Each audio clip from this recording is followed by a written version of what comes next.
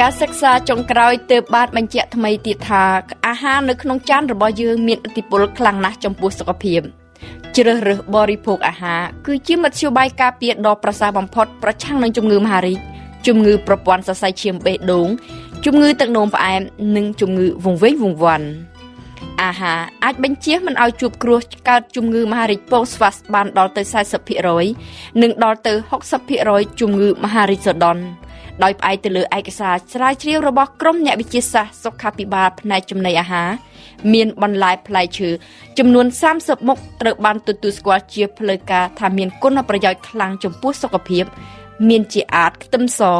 តែបៃតង ផ្លែឈើពណ៌ក្រហមឬក៏មើមល្មៀតជាដើមឡាក់បន្ទាប់ពីបានចំណាយពេលវេលាអស់ជាង30ឆ្នាំអតិពលឬក៏ទួលនីតិរបស់ចំណីអាហារចំពោះសុខភាពពេលនេះ ត្រូវបានទទួលស្គាល់ពីគ្រប់ស្ថាប័នការសិក្សារបស់អឺរ៉ុបមួយទៀតបានបញ្ជាក់បន្ថែមទៀតថានៅក្នុងចំណោមអនុសាសន៍10ចំណុចរបស់មូលនិធិពិភពលោកស្រាវជ្រាវប្រឆាំងនឹងជំងឺមហារីកចេញផ្សាយកាលពីឆ្នាំ2007មាន6ចំណុចតាក់ទងនឹងចំណីអាហារប្រសិនបើមានរបបអាហារត្រឹមត្រូវគ្រោះកើតជំងឺមហារីកជាទូទៅនឹងត្រូវកាត់បន្ថយបាន20% ហើយ25%ចំពោះមហារីកពោះវៀនធំ30%ចំពោះមហារីកតម្រងនោម40%មហារីកដុំខ្សាច់ក្រពះនិងបំពង់អាហារនឹងបានដល់ទៅ50%ចំពោះមហារីកផ្លោកនោមនិងក្រពះដូច្នេះនៅក្នុងការអនុវត្តជាក់ស្ដែងគេអាចការពារមិនឲ្យកើតជំងឺមហារីកមួយនៅក្នុងចំណោមមហារីក5ដោយប្រតិបត្តិខ្ជាប់ខ្ជួននៅរបបចំណីអាហារប្រចាំថ្ងៃ។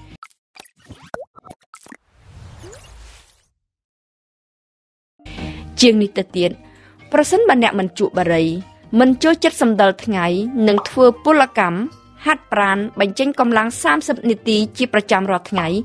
នោះគ្រោះកើតជំងឺមហារីកនឹងត្រូវកាត់បន្ថយអស់ដល់ទៅ70%និងអាចជួយការពារប្រឆាំងនឹងជំងឺទឹកនោមផ្អែមជំងឺបេះដូងនិងជំងឺវង្វេងវង្វាន់បានថែមទៀតផង។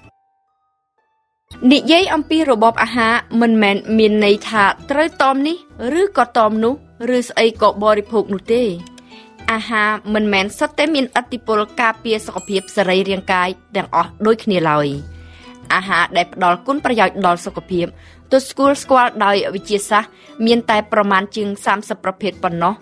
មានជាអាចប្រភេទបន្លែបៃតងពពួកផ្លែឈើតូចតូចពពួកដើមវល្លិ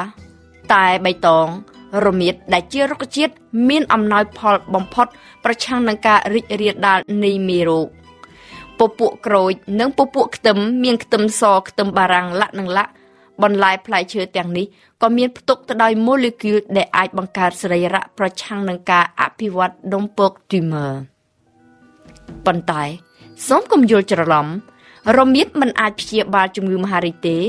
ឬក៏ពិសាម្រះទៅជាជំងឺទឹកនោមផ្អែមនោះក៏ទេដែរ ម្ហូបបន្លែផ្លែឈើដែលថាមានគុណភាពចំពោះសុខភាពនេះ គឺពិសាទៅបានទាំងឆ្អែតទៅចិញ្ចឹមរាងកាយផង និងបានជាការការពារផង មិនមែនជាការព្យាបាលទេ ការពារប្រសើរជាងព្យាបាល ហើយការការពារនេះគ្មានផ្ដល់ផលប៉ះពាល់បន្ទាប់បន្សំអ្វីសោះព្រមទាំងមិនបានចំណាយអ្វីឲ្យលើសពីសេចក្តីត្រូវការប្រចាំថ្ងៃក៏ទេដែរសូមជម្រាបជូនថា មនុស្សគ្រប់រូបតាមការពិត ក្នុងមួយថ្ងៃមួយថ្ងៃខ្លួនប្រាណរបស់យើងផលិតកោសិកាដែលនឹងអាចคล้ายទៅជាកោសិកាមហារីកបានដល់ទៅជាង1លានកោសិកាឯណោះដូច្នេះប្រសិនបើយើងបរិភោគអាហារដែលមានសមត្ថភាពទប់ស្កាត់ឬក៏ប្រឆាំងនឹងម៉ូលេគុលមហារីកដុំពកនោះពិតជានឹងមិនអាចវិវត្តទាំងស្រុងទៅជាជំងឺមហារីកបានឡើយកម្មវិធីសុខភាពរបស់វិទ្យុបារាំងអន្តរជាតិ ធ្លាប់ជម្រាបជូនអំពីអនុសាសន៍របស់អង្គការសុខភាពពិភពលោកឲ្យបរិភោគបន្លែផ្លែឈើ5មុខក្នុងមួយថ្ងៃគ្រប់បន្លែផ្លែឈើនីមួយៗសុទ្ធតែមានគុណប្រយោជន៍ជួយរក្សាសុខភាពដូចគ្នាក៏ប៉ុន្តែសមត្ថភាពជាថ្នាំការពារមិនដូចគ្នាទេដូច្នេះលោកអ្នកនាងត្រូវតែបរិភោគអាហារឲ្យប្លែកៗគ្នា ឲ្យទទួលទានឲ្យបានច្រើនលើសពី5ទៅទៀតកាន់តែប្រសើរពីព្រោះសូមបញ្ជាក់ថាអនុសាសន៍របស់អាជ្ញាធរសុខភាពនេះគឺជាការណែនាំឲ្យធ្វើអ្វីមួយនៅក្នុងកម្រិតអបបរិមាតែប៉ុណ្ណោះញ៉ាំដើម្បីរស់ឬក៏រស់ដើម្បីញ៉ាំពីរឃ្លានេះមានអត្ថន័យខុសគ្នាស្រឡះលោកនាងជ្រាបជាស្រេចហើយហើយពាក្យនេះ គឺពិតជាមានន័យអប់រំគ្រប់គ្រាន់មិនមែនសម្រាប់តែលើសុជីវធម៌រស់នៅនៅក្នុងសង្គមប៉ុណ្ណោះទេក៏ប៉ុន្តែក៏មានប្រយោជន៍យ៉ាងខ្លាំងចំពោះសុខភាពដែរតាមបែបវិទ្យាសាស្ត្រនិងវិទ្យាសាស្ត្រ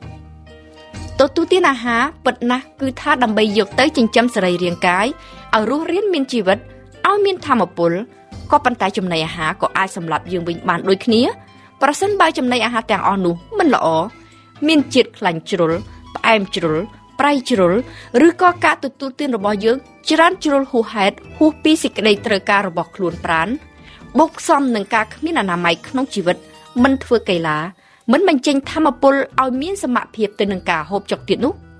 នោះគ្រោះកាត់ជំងឺក៏មានឡើងខ្លាំងច្រើនជំងឺទឹកនោមផ្អែមជំងឺសរសៃឈាមបេះដូងជំងឺខ្លាញ់ក្នុងឈាមជំងឺធាត់ជ្រុលងាយនឹងកើតមានខ្លាំងណាស់ វាមិនចម្លែកទេ ដែលនៅក្នុងសម័យសង្គ្រាមក្នុងពេលក្រខ្សត់ គេនិយាយអំពីជំងឺកង្វះជាតិអាហារហើយនៅពេលដែលមានបានធូរធារវិញនោះ មានជំងឺព្រោះតែបរិភោគច្រើនជ្រុលគឺទំនងដៃមូលហេតុដូច្នេះហើយបានជាអ្នកឯកទេសខ្លះណែនាំកុំឲ្យទទួលទានតាមឃ្លានប្រសិនបើចង់មានសុខភាពល្អជាក់ស្ដែងនៅប្រទេសជប៉ុនបណ្ដាជនជប៉ុនដែលល្បីថាមានអាយុយឺនយូរជាងគេនិងមានសុខភាពល្អខ្លាំងនោះ មានប្រពៃណីបរិភោគអាហារតែប្រមាណ80%នៃសេចក្តីស្រេកឃ្លានរបស់ក្រពះតែប៉ុណ្ណោះទង្វើនេះចង់បញ្ជាពាក្យថាឆ្អែតជ្រុលប៉ុន្តែសូមបញ្ជាក់ថា មិនមែនជាការបង្អត់អាហារខ្លួនឯងឡើយ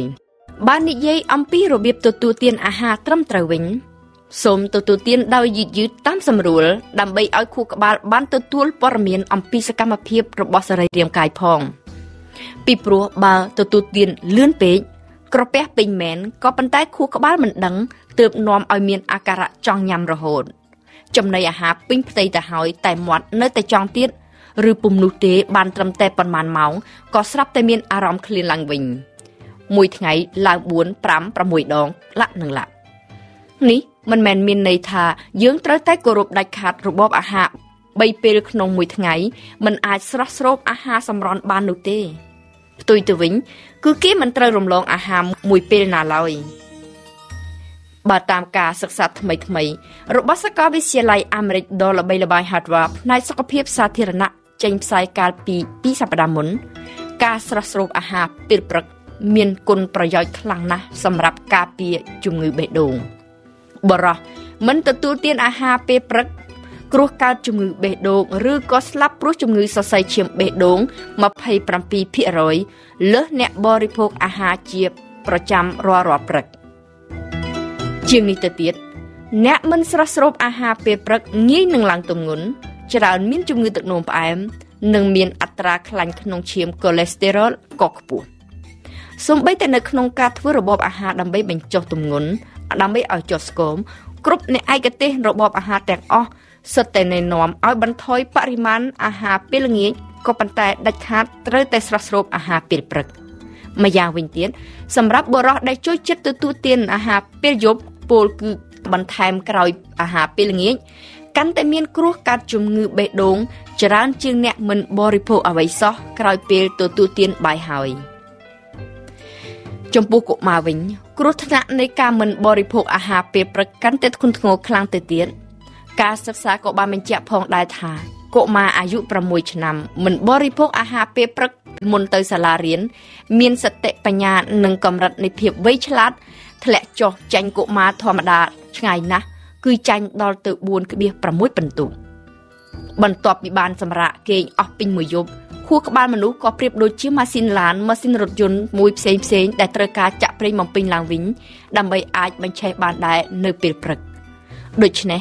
ការស្រស់ស្រូបអាហារពេលព្រឹកនេះហើយ